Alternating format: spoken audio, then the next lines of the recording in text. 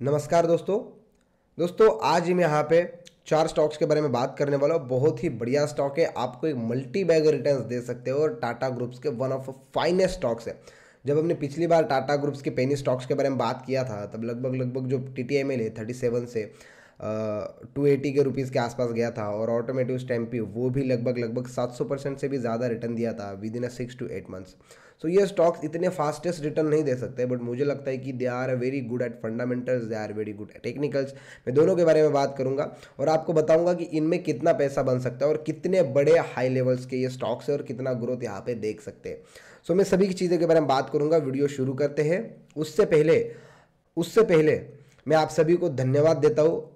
आपने मुझे इंस्टाग्राम पे बहुत ज़्यादा प्यार दिया हुआ है। तीस हज़ार में जो वहाँ पे फॉलोअर्स कंप्लीट हो चुके हैं। आप अभी तक ज्वाइन नहीं हुए।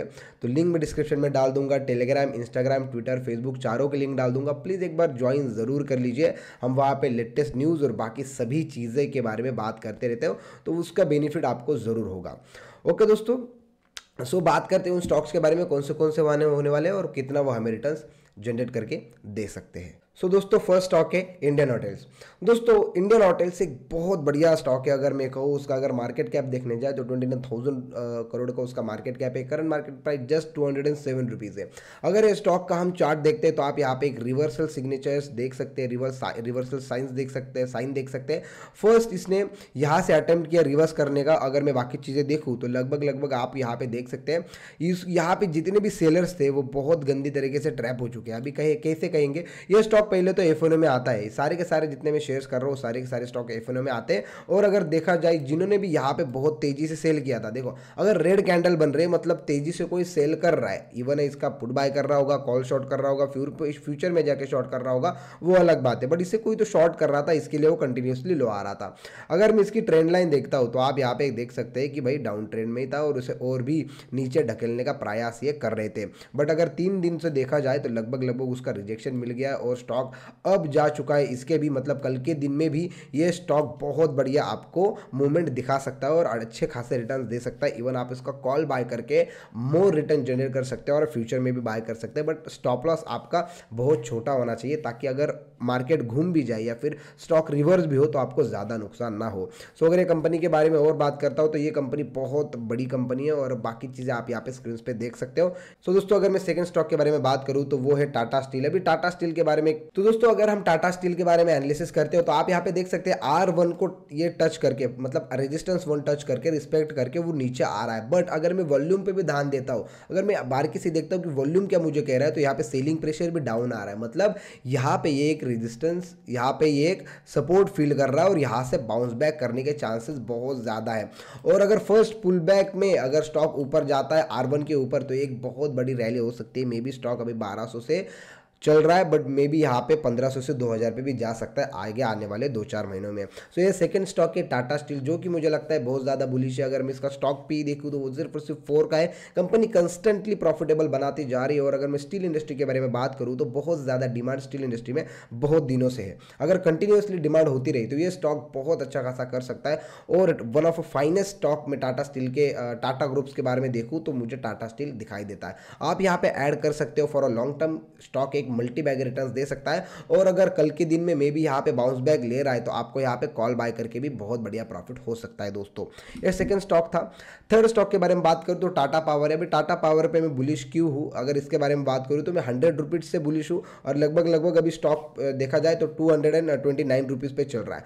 मेरा एक सबसे बड़ा यहाँ पे भी बहुत ज़्यादा मैं बुलिश हो रहा था। जब इसने फ़र्स्ट रिजेक्शन दिया था इसका, तब स्टॉक एक थोड़ा सा मोमेंटम दिया था। इसके ऊपर मैंने बाय करने कहा था, इतना मोमेंटम उसने दिया हुआ था। फिर आर का थोड़ा सा रिस्पेक्ट करते हुए स्टॉक बहुत तेज़ी से गिरा। इसके नीचे मैंने सेल करने कहा था, फिर गैप डाउन खुला और बहुत सारी स्टोरी स्टॉक में चल रही है मेरी कंटिन्यूसली भी। मैं टेलीग्राम पे अपडेट देते रहता हूँ स्टॉक के बारे में। Now what I am thinking about this stock अभी मैं क्या सोच रहा हूँ? भाई, ये पीवट पॉइंट जो है इसके ऊपर आ चुका है। अभी मैं यहाँ पे बुलिश ट्रेड ले सकता हूँ इसमें। इसके रीजन देखे जाए तो आप यहाँ पे देख सकते हैं, बड़ी रिवर्सल कैंडल यहाँ पे दिख रही होगी। अगर देखा जाए तो नए नए बोले तो अच्छा खासा यहाँ पे उसने रिवर्सल दिखाया हुआ है। टाटा पावर के फंडामेंटल स्ट्रॉन्ग से कंटिन्यू सेक्टर सेक्टर में डिमांड है और कंपनी का बहुत अच्छा पोर्टफोलियो भी है सभी चीज़ों के लिए अगर देखा जाए। जैसे कि इलेक्ट्रिक व्हीकल्स के लिए पावर स्टेशन फिट कर रहे हैं और बहुत सारी चीज़ें जो कि जो कि फ्यूचर में बहुत काम आने वाली, इन पे इनका रिसर्च और बाकी चीज़ें बहुत ज़्यादा फास्ट हो रही है। तो यहाँ पे मेरी बाइंग ज़रूर होनी चाहिए, अगर मार्केट कल के दिन में इसके ऊपर क्लोज दे देता है तो मैं यहाँ पे बाय कर सकता हूँ ऑल टाइम हाई के लिए। अगर ऑल टाइम हाई यहाँ से देखा जाए तो आराम से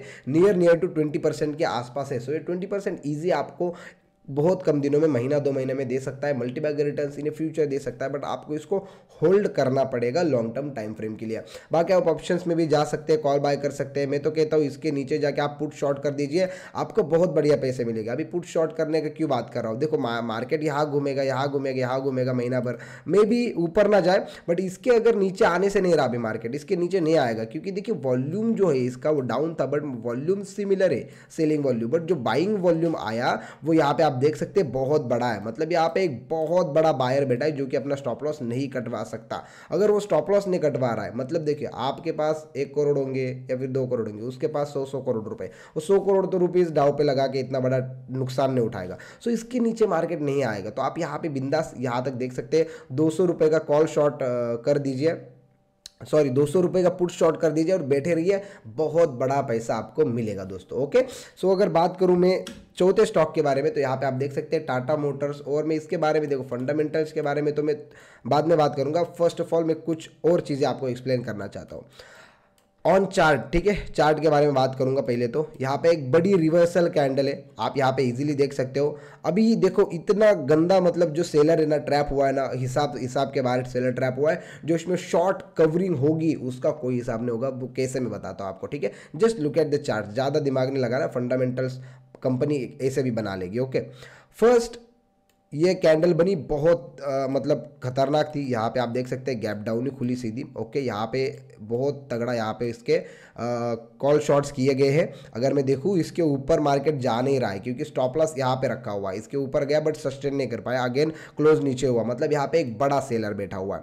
सेकेंड थिंग इसने मार्केट बहुत नीचे खींचा। वॉल्यूम कंस्टेंटली अप साइड जा रहा था जब ये बेच रहे थे। बट एक वॉल्यूम ऐसा आया जहाँ पे इनको एग्जिट करना पड़े पड़ा। और अगर आप यहाँ पे दो दिन पहले का अगर डाटा चेक करते हो तो सबसे ज़्यादा शॉर्ट कवरिंग टाटा मोटर्स में हुई। भी उसका रीज़न यहाँ पे बहुत बड़ा बायर था और लगभग लगभग जितना भी सेलिंग बनाई हुई थी प्रेशर, सेलिंग प्रेशर बनाया हुआ था, क्योंकि स्टॉक बहुत नीचे गया हुआ था उस दिन, ठीक है? पूरा सेलिंग प्रेशर उसने एब्जॉर्ब कर लिया। जितने भी सेलिंग ऑर्डर्स थे, उसने बाय किए हुए हैं टाटा मोटर्स में। मतलब बड़ा बायर यहाँ पे बैठा हुआ है। Second day stock move very nice यहाँ पे देख सकते हैं एस वन मतलब सपोर्ट वन के वो ऊपर क्लोज करवाता है। मतलब यहाँ पे बड़ा वो कुछ प्लान कर रहा है जो कि आगे आने वाले दिनों में पता चल सकता है। मे बी वो लगभग लगभग वन पॉइंट पे भी ले जाए और मे बी यहाँ पे पाँच सौ रुपये ऊपर भी ले जाए। अभी शेयर प्राइस चार सौ पाँच रुपये के आसपास चल रही है और इसके टारगेट्स बहुत लंबे होने वाले अगर आप लॉन्ग टर्म होल्ड कर सकते हो तो करो। टाटा मोटर्स बहुत कुछ चीज़ें इंडस्ट्री में ला रही है जो कि कोई भी बड़ा प्लेयर यहाँ पे नहीं सोच रहा है उसके बारे में। सो मैं बहुत ज़्यादा बुलिश हूँ टाटा मोटर्स पे भी। अगर आपको ये खरीदना है तो लॉन्ग टर्म के लिए ज़रूर खरीदेगा और यहाँ पे आप कॉल भी बाय कर सकते हो। पुट शॉट मैंने कहा ना कि भाई यहाँ इसके नीचे तुम बिंदास पुट शॉट करो। जहाँ पे मार्केट घुमा है, वहाँ पे बिंदास पुट शॉट करो। महीना भर में आराम से तीस चालीस परसेंट किधर नहीं जाएँगे वे, आराम से आएँगे वो। यहाँ पे मार्केट वापस घूम के नहीं आने वाला है। बिल्कुल नहीं आने वाला है। और यहाँ तक आग भी गया ना, तब तक तुम्हें डीके का प्रॉफिट मिल चुका होगा। डोंट वरी तो यहाँ तक मार्केट नहीं आएगा। तुम बिंदास यहाँ पे पुट शॉर्ट्स करके बैठे रहो ओके सो आज के लिए इतना ही। चार स्टॉक्स मैंने बता दिए हैं। Thank you for following on my Instagram thirty thousand के लिए बहुत बहुत धन्यवाद। आज के लिए इतना ही। मिलता हूँ कल के वीडियो में। बाकी मैं वीडियोस लाते रहूँगा तो वैसे वैसे देखते जाएँगे। टेक्निकल एनालिसिस पे ज़्यादा वीडियो रहेंगी, क्योंकि मैं खुद ज़्यादा तो एफएनओ ट्रेड्स लेता हूँ। एफ़ ट्रेडर हूँ इसीलिए। सो बाकी चीज़ें आगे देखते हैं। आज के लिए इतना ही। धन्यवाद देखने के लिए।